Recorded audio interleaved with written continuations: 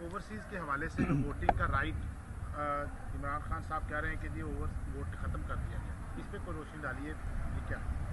देखिए, बिस्मिल्लाहिर्रहमानिर्रहीम नामद रसूल करीम।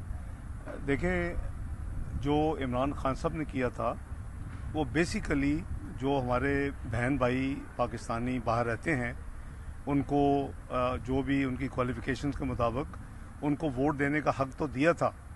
लेकिन उनकी कोई नुमाइंदगी पार्लियामेंट के अंदर कोई देने का प्लान नहीं था।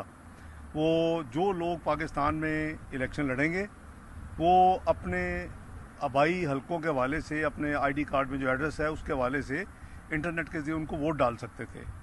मैं समझता हूँ कि मुस्लिम लीग नून का उससे, उनकी ऐलान से पहले भी नए नया ऐलान नहीं है।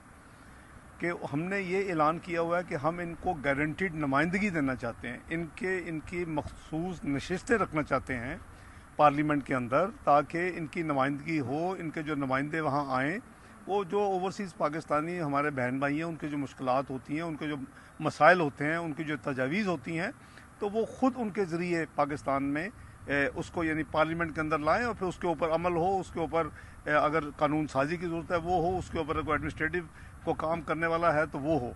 तो हमारा हमारा जो प्रपोज़ल है, या जो हमारा जो जो आइडिया है, वो बहुत बेहतर है उन उन पीटीआई की जो अमेंडमेंट थी उससे।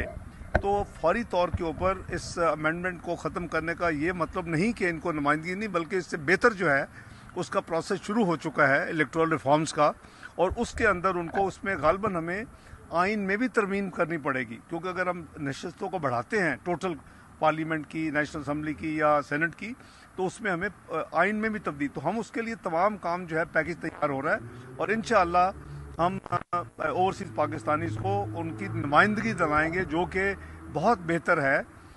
आम सिर्फ़ यहाँ बैठ के वोट डालना। हमने माजी में रेफरेंडम देखे हैं।